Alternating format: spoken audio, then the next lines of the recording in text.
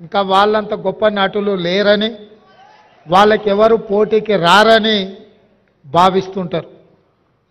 కానీ నూట యాభై పైచిలకు సినిమాలలో గొప్పగా రాణించి జాతీయ స్థాయిలో అంతర్జాతీయ స్థాయిలో గుర్తింపు పొందిన చిరంజీవి గారిలో ఈ రోజుకు ఆ కమిట్మెంట్ ఉంది. ఆ కమిట్మెంటే వారిని ఇంత గొప్పగా రాణించే అవకాశం కల్పించింది. అలాంటి వారిని మా రాష్ట్ర ప్రభుత్వం సన్మానం చేయడం అనేది మా బాధ్యతగా మేము భావిస్తున్నాం. అదేవిధంగా గ్రామీణ ప్రాంతాలలో మారుమూల పల్లెల్లో పెరిగి స్థానిక కళలు వృత్తిగా మార్చుకొని వాటినే ప్రదర్శిస్తూ అందులోనే తమ జీవితాన్ని గడిపిన పద్మశ్రీ అవార్డు గ్రహీతలు వేలు ఆనందచారి గారు శ్రీ దాసరి కొండప్ప గారు శ్రీమతి ఉమా మహేశ్వరి గారు గడ్డం సమ్మయ్య గారు బంజారా కెతావత్ సోమ్లాల్ గారు శ్రీ కూరెళ్ళ విఠలాచార్య గారు. వీరందరికీ కూడా కేంద్ర ప్రభుత్వం పెద్దలు వెంకయ్య నాయుడు గారు చెప్పినట్టు మట్టిలో మాణిక్యాలను గుర్తించి వెలికిదీసి సానబట్టి వాళ్ళు రాణిస్తే ఈరోజు కేంద్ర ప్రభుత్వం వాళ్ళని గుర్తించి పద్మశ్రీ అవార్డులు ఇచ్చింది మన వాళ్ళను మనలో ఒకరిని కేంద్ర ప్రభుత్వం గుర్తించి పద్మశ్రీ అవార్డులు ఇచ్చినప్పుడు మీ అందరి సమక్షంలో వాళ్ళని సన్మానం చేయడం రాష్ట్ర ప్రభుత్వం బాధ్యతగా భావించి ఈరోజు ఈ కార్యక్రమాన్ని ఏర్పాటు చేయడం జరిగింది. మిత్రులారా ఈ కార్యక్రమం రాజకీయాలకు అతీతమైన కార్యక్రమం. ఈ కార్యక్రమం ఒక మంచి సాంప్రదాయాన్ని నెలకొల్పడానికి మా ప్రభుత్వం చేస్తున్న ప్రయత్నం. తెలుగువాడు ఎక్కడున్నా మనవాడే ఏ ప్రాంతంలో ఉన్నా మనవాడే. ఈ దేశంలో హిందీ భాష తర్వాత అత్యధికంగా మాట్లాడుకునే భాష తెలుగు భాష దేశంలో రెండవ భాష అత్యధికంగా మాట్లాడుకునే భాష తెలుగు భాష.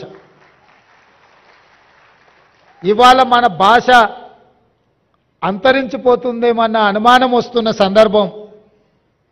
మన కవులు కళాకారులు గ్రామీణ ప్రాంతాలలో సాంప్రదాయబద్ధమైన ఈ వృత్తులను వదిలేస్తే చరిత్రలో కనుమరుగవుతుంది.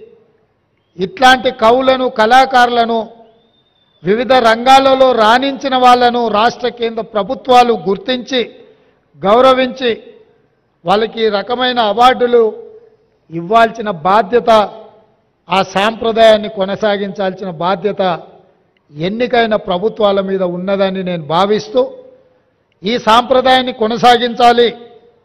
అందుకే ఎక్కువ సమయం తీసుకొని వారిని సన్మానం చేసినా దానికి అర్థం ఉండదని ప్రకటించిన ఎంబడే పెద్దలు వెంకయ్య నాయుడు గారిని చిరంజీవి గారితో మాట్లాడి ఈ కార్యక్రమాన్ని ఏర్పాటు చేసిన.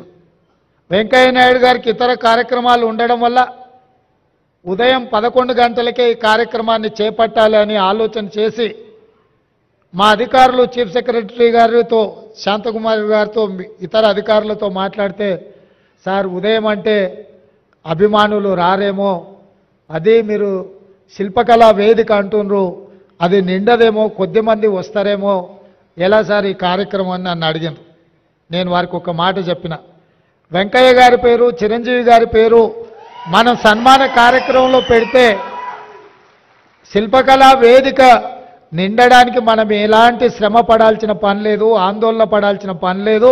శిల్పకళా వేదిక నిండగా వారి అభిమానులు తప్పకుండా వస్తారు అని నేను వారికి చెప్పిన నా నమ్మకాన్ని నిలబెట్టినందుకు మిమ్మల్ని అందరినీ మనస్ఫూర్తిగా నేను అభిమాని నేను మిమ్మల్ని అందరినీ అభినందిస్తున్నా.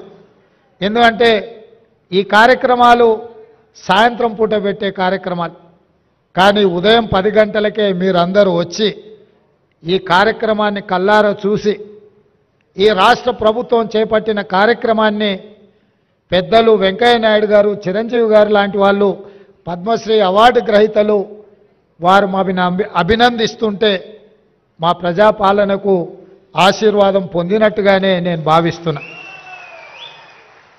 అదేవిధంగా